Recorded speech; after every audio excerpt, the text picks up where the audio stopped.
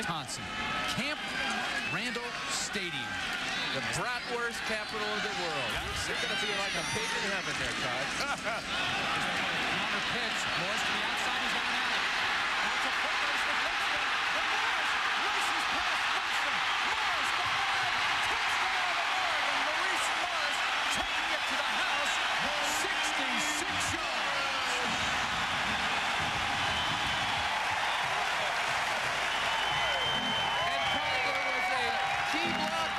82, Sonny Cook, on a play that helped Morris spring to daylight. We saw his great speed as he just outran the last two defenders.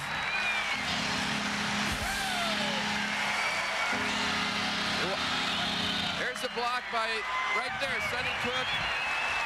And now it's just speed. Morris outruns the young freshman free safety. About the only thing that fast in Alaska where Lindstrom grew up. Maybe a bear. on a Saturday night. Josh Frankel, who has a couple of field goals, not to the point after. The Ducks get their first score. The much heralded Maurice Morris with the first touchdown of the year. And the Ducks lead the Wolfpack 15 to nothing. There's a bear. Used to finding the end zone. It took him a little more than a quarter and a half, but he finally gets Oregon's first touchdown of the year. Four plays, 72 yards, 66 yards.